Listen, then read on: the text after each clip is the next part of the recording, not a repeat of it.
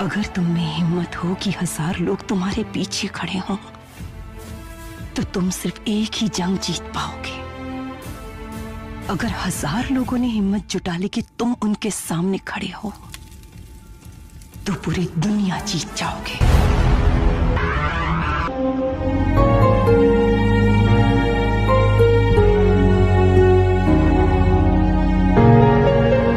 कुदरत का करिश्मा तो देखो।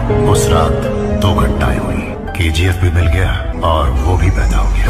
ओ भाई क्या तेरा बाप कह रहा नहीं रे तेरे बाप की और तेरा बाप मैं। केजीएफ चैप्टर टू रिलीज़ से पहले ही सुपरहिट फ़िल्म कैसे बन गई? और इस फ़िल्म की कहानी क्या है?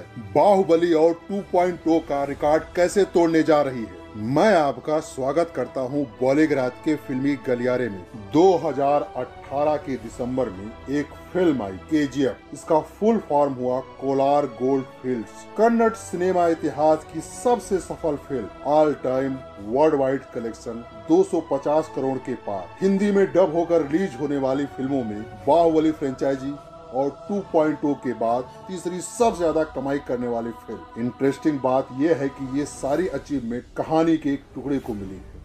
आधी कहानी अभी आना बाकी। जिस फ़िल्म में बची हुई कहानी दिखाई जाएगी, उसका नाम होगा के जी एफ़ चैप्टर टू। के जी एफ़ के पहले हिस्से में हमें कोलार गोल्ड फील्ड्स में अपना एक छत राज कायम करने वाले गरुड़ा की कहानी दिखाई गई। गरुड़ा सोने के इस खान का मालिक था और यहाँ काम करने वाले लोगों पर बहुत अत्याचार करता था। रॉकी, यानी कि राजा कृष्णप्या बैर एक गरीब घर का बच्चा, जिसकी माँ पैसे की कमी से इलाज ना मिल पाने के कारण मर गई, लेकिन उसने मरते समय अपने बेटे से वचन लिया कि वो बड़ा होकर बहुत ताकत और पैसा कमाएगा। रॉकी, इन्हीं चीज़ों की तलाश में मुंबई आया और जल्द ही रॉकी भाई नाम का एक डॉन बन गया। उसका बड़ा होता नाम देखकर कोलार खान को हथियाने के लालची लोग उसे गरुड़ा को मारने के लिए सुपारी देते। पहली बारी में फेल होने के बाद रॉकी गरुड़ा को उसके गढ़ में यानी खान में ही मारने का प्लान बनाता है और मार भी देता। है पहली फ़िल्म यहीं खत्म हो गई। अधीरा गरुड़ा का चाचा है सोने की खान के मालिक सूरवर्धन ने अधीरा को नजरअंदाज कर